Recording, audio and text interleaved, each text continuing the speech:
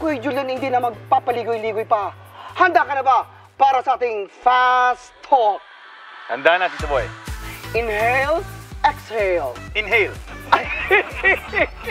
Napaka-excited mo naman.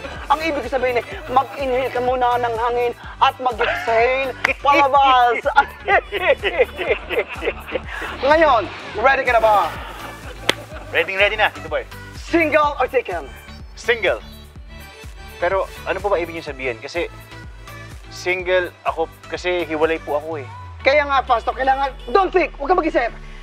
Mabilis at pasa ng ating usapan. Okay. Dito. Ready ka na ba? Beauty or brain? Beauty and brains, Tito Boy. Past or future? Past. Morena or mestiza? Morena. Tall or short? Tall. And finally, Shelly or Jenny?